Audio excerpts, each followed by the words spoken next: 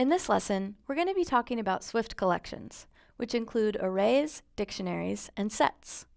Just as a quick refresher, an array is an ordered list of items.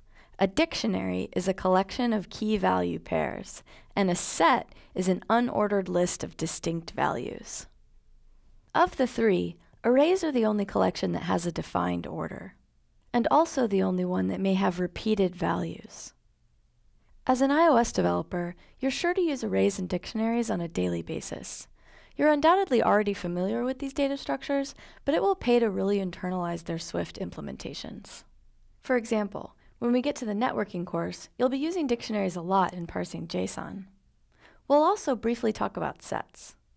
For this module, you'll want to open up the playground file entitled Lesson 3, Collections. Let's start with arrays.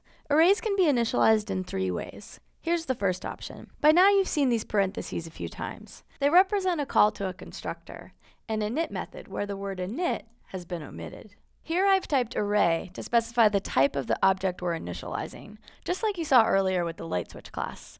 With collections, we also need to specify the type of the item that the collection holds, so we type double here, in between angle brackets.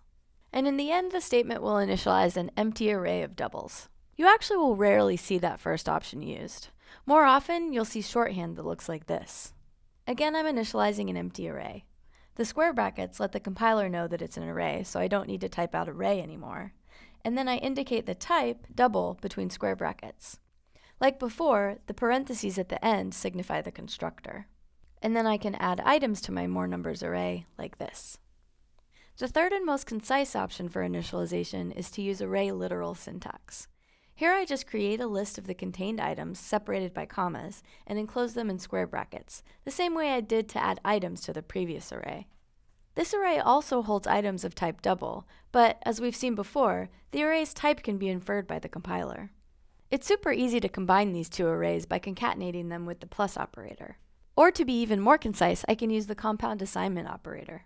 Notice that the compiler doesn't allow me to add values to an array that's been defined as a constant using let.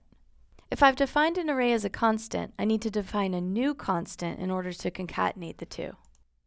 An array can hold any type of object, including custom classes.